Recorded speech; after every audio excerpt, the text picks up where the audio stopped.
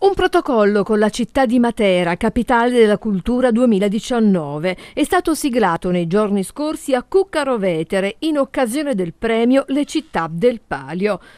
Si tratta di un protocollo d'intesa tra il Comune di Matera, la Fondazione Matera Basilicata 2019 e il GAL Casacastra. L'intento è quello di arrivare ad un'importante collaborazione tra il Cilento e la città di Matera in occasione dell'evento mondiale del 2019.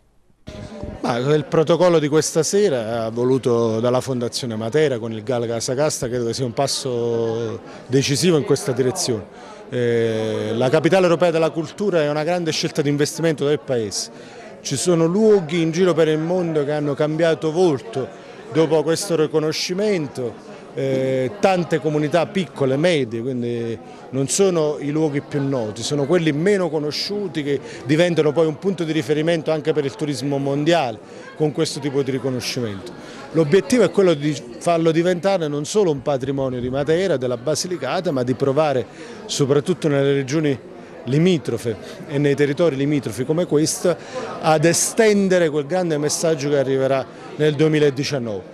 Devo dire che su questo non vedo una grande attenzione di altre istituzioni, quindi è meritorio il compito e il lavoro che stanno facendo il Comune di Cuccaro ma soprattutto il Gal Casa Castra che li coordina tutti qui in questa area proprio per portare qui la Fondazione Matera e per portare qui il messaggio che Matera 2019 deve diventare un grande patrimonio da sfruttare per tutto il mezzogiorno. Ecco, se riusciamo a fare questo noi prevediamo o meglio noi, loro, gli organizzatori prevedono almeno un milione di persone nel 2019. Ecco, questo flusso di persone dovrà diventare credo di interesse per tutto il mezzogiorno, soprattutto per le regioni più limitrofe ovviamente le istituzioni locali in questo caso,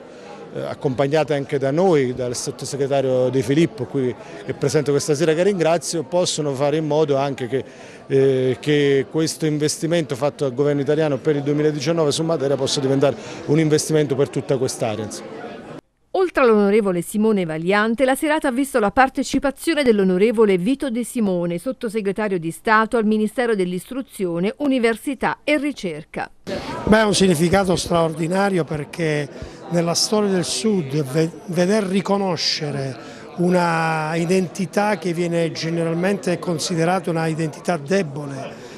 frutto di una storia anche complessa come quella di Matera dei Sassi che era un luogo marginale, era un luogo che negli anni 50, negli anni 60 è stato il luogo tipico delle, delle spedizioni antropologiche per descrivere le debolezze e anche le difficoltà nel quale, nelle quali si trovava il Mezzogiorno. Bene, con una formidabile nemesi storica, quella parte lì del Mezzogiorno diventa oggi un vessillo eh, trainante in termini di opportunità e di sviluppo, non sono parole, Matera in questo periodo sta vivendo esattamente questa esaltante stagione di opportunità in termini di sviluppo, di occupazione e quindi è un esempio emblematico con il quale io spero il Mezzogiorno saprà fare i conti nei prossimi anni perché da Matera si possono replicare storie virtuose allo stesso modo in tanti altri punti del Mezzogiorno.